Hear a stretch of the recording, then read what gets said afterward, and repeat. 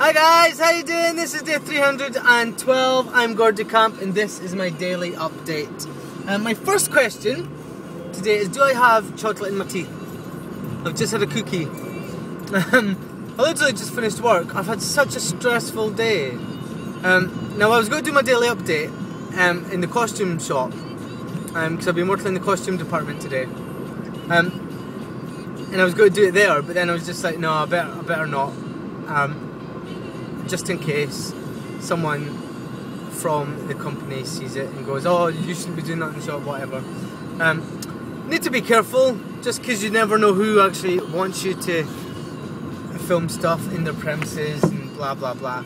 Um, but anyway, I had to drive. Stress thing. I had to drive from the shop to to the school to do my, my drama.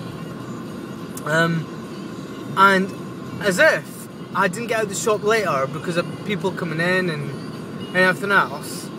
And I was rushing through traffic. Now, I, I don't speed, right? But I, I just become so aware of how busy traffic is when you need to be somewhere else. And it's so weird because it's always me. Well, it's not obviously just me, it's the other cars on the road as well. Um, but I'm just so aware of it, and I'm just like, why? It's Sod's Law. There's this little guy called Sod and he's got a whole law that tells you when you need to do something, something will happen to stop you doing it as good as it needs to be done, or as quick as it needs, or whatever. He's just a sod, and he needs to be shot in the face. but yeah, basically, I'm hungry. Um, I've not had chocolate in such a long time because I was so hungry at school. Um, when I was doing my drama teaching, I ate chocolate cookies. So yeah, I feel a little bit shit about that now. Um, well, I said cookies. I've had two, and they were that size. They're the smallest cookies in the world. So yeah, I'm I'm not feeling too guilty about it, but yeah, it's just that thing. Why why do I eat chocolate when I know that I should? You stop it. Oh. But yeah, things are all right, guys. Things are going well. Um, what what do you find yourself doing to to de-stress and like you know when you're in the car or you're on public transport whatever and you're stuck in traffic you see the time ticking and you're meant to be somewhere and you're like oh my god and you start watching the clock. Excuse me you start saying to yourself oh my god I've got 10 minutes I've got half an hour it's a it's a 35 minute journey from here and then it just gets later and later and you sit because I wind up like I wind myself up thinking about it, and I start getting really tense because of it, and I start getting stressed, and then yeah, by the time I actually arrive, I'm just so worked up then that I, I, I could be having seizures and I wouldn't even know about it. That's how work. Oh, excuse me. That's how worked up I got. I sort of get. Um, but yeah, like what what makes you like that? What gets you really tense and worked up? Um, because it does happen. It happens to everyone at some point. Um, some people are like so less tolerant than me. Um, so although I'm in traffic and I'm stuck and I, I, can see the time running, I don't take it out. I don't have road rage or anything. But just personally, I feel myself getting all tense and yeah. But some people are even less like stressed out. Like they might just sit there and go, "Well, there's nothing I can do about it. So what?" And they're fine but then something else in life might make them like really uh, worked up and it might not even take ages. It might just work up like that. Um, but what what does it for you? What is the one thing that makes you just seize up and get really stressed about? Um, I don't know stress is a horrible thing it really is and it just winds me up. Um, but, excuse me. But it happens so easily like I think it's life. Like, I don't mean that to sound like, oh, I want sympathy.